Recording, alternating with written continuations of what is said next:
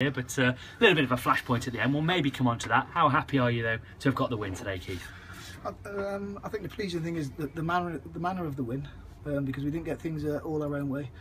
Uh, and I think they're a very good team. Um, they played to their strengths. They try and suck you on. They've got good belief that they think their front uh, their front players are going to cause you problems. We highlighted that through the week. Uh, and we said that uh, today's the day where our back four stand up, stand together, uh, and defend as a, as a unit. And I thought they did that uh, to a man today. They were unbeaten in four coming into the game, but a stat that a fans made us aware of that uh, I must admit had uh, escaped my research was that you're the first team in 13 in the league to stop them scoring. Right, got you. Well, that's pleasing and confidence the, that the back four can take from that and I do, I do believe not back four, back, back five as well. I thought we nullified them. I can't remember Dan Hanford being stretched at all uh, throughout the 90 minutes, but but there was still a threat that had to be dealt with, and I thought our back four today stood up, uh, connected very well uh, as a back four and uh, as a unit. It gave us gave us a platform uh, to go and play. And then I thought when we uh, when we did get good position, I thought we used it well. I thought we, we were a threat, a constant threat, but left, right, through the middle, supporting play. Um, from uh, from centre midfield and also uh, from fullback areas. Could very easily have been more comfortable as well today, couldn't it?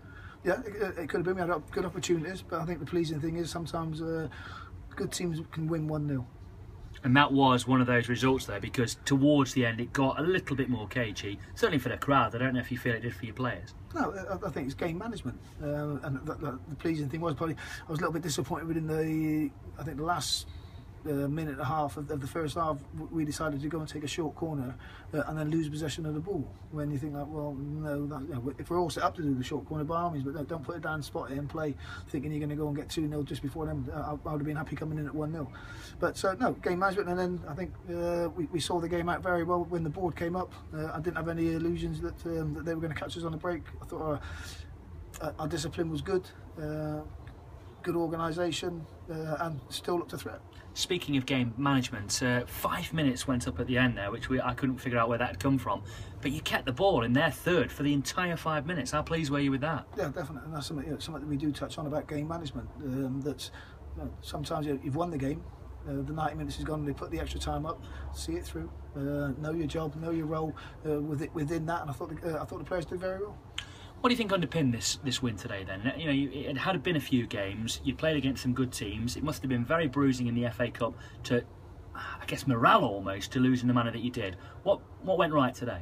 I, th I think what it was. Um, I was driving him after the game, and uh, I was probably lot, very similar to a lot of a lot of people uh, happy with the performance against Peterborough but I had this feeling that there was going to be a lot of backslapping, a lot of a lot of well done's, unlucky um, coming the, the, players' ways. So, so what I did uh, Monday, myself and Colin West, Monday was normally a recovery day. Monday was a work day, uh, and I mean the players had a, a double session, uh, worked harder, and well, they call it red zone. Uh, the strength and conditioning coach will be able to tell you the, the heart rate was uh, off the board uh, Monday and Tuesday, and we, we fully got the, the disappointment of the, the Saturday's uh, result at the player systems and then everything then was geared to that work ethic that work rate taking it into Thursday Friday in our preparation for what, what I knew was going to be a very difficult game. And um, I think if we come out if, if, we come out today for for a game of football I think they'd have caused us more problems than what they did. We came out today with the right mentality that we were going to stop them from playing uh, and then utilise our strengths um, and again I thought we did cause them problems.